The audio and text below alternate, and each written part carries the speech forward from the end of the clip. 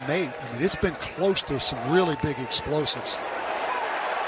Borghi trying to explode himself, getting to the outside, and Max Borghi, nothing but runway as Borghi punches in the first touchdown of the night.